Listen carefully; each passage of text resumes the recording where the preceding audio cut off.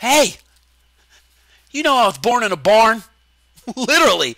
There was straw and chickens and, and cows and, and grain sacks and, and rakes and hay bales and funky barn smell and everything. yes, Rose, I did say cows. But now here I am, spokesgoat for readaloud.org. I mean, how did I get here? Well, this is my family, the Cole family. yes, yes, you guys are all my family too. Jeez. Yeah, that was Rose the cow over there.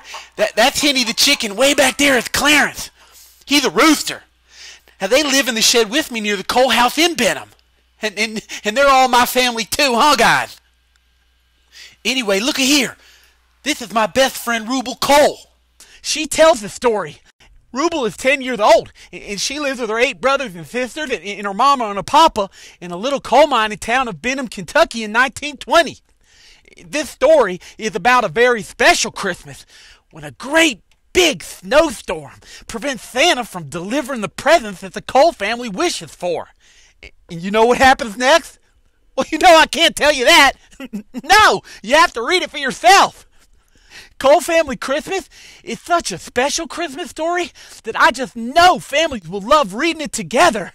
Oh, it would be a perfect Christmas gift. The story, some of it, oh, it's so sad. Like when the children they break Mama's favorite purple glass bowl, and part of it, part of it, oh, so scary. Like when a big, big snowstorm keeps Papa from coming home from the coal mine. But most of it, most of it is so happy, like when the kids get to pick their most special present from the wish book and write their letters to Santa.